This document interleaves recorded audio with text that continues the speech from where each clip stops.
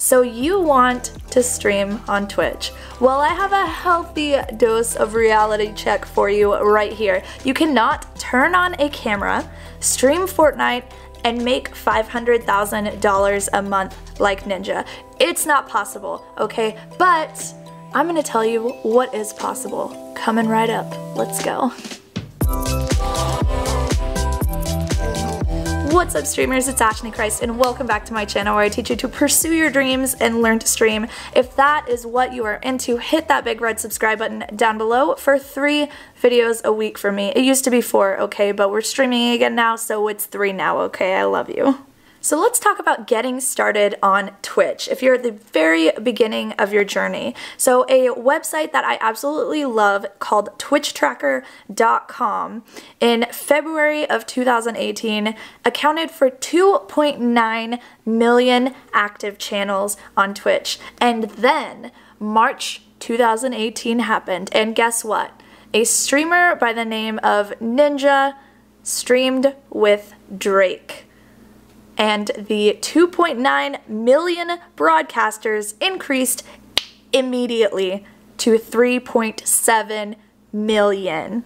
Now, after the next three months, the numbers did decrease about down to the normal level. So there's around 3 million active broadcasters in June of 2018. But that did a lot. That moment did a lot to put Twitch on the map, right? And so a lot of people are going to be interested in coming on the platform and coming over and just exploring what Twitch has to offer. So I have five Twitch tips for all of you who are new to the platform and these tips are awesome for those veterans in this platform as well, so make sure that you stick around even if you've been hanging out on Twitch for a while.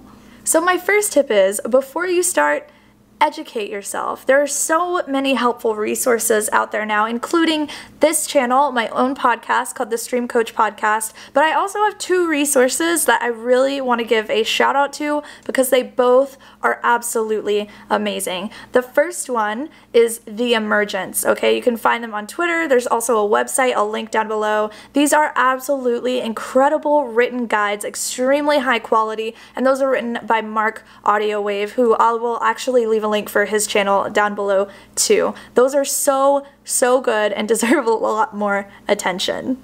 The second resource is the Broman podcast. Professor Broman is just an amazing, amazing creator and person in general, and he throws so much good advice into this podcast. I just recently started listening to it, and it's honestly just amazing. If you are so curious about content creation in general, whether that's YouTube, uh, social media, Twitch, whatever, that is the podcast you want to listen to. It is incredible. Also, Broman's just like a legit good dude. He's just a good guy, very, very well seasoned creator and knows what he's talking about. So after that first step, my second step is to try it out. Just get started, turn that camera on, and go.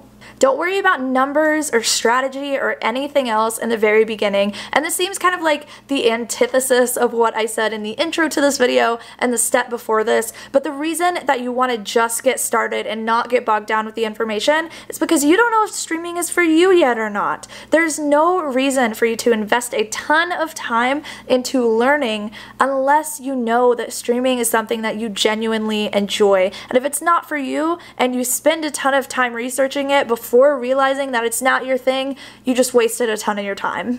My third tip is if it is for you, congratulations, welcome to my world. It's pretty awesome here. Okay, now what you need to do is decide what is streaming for you.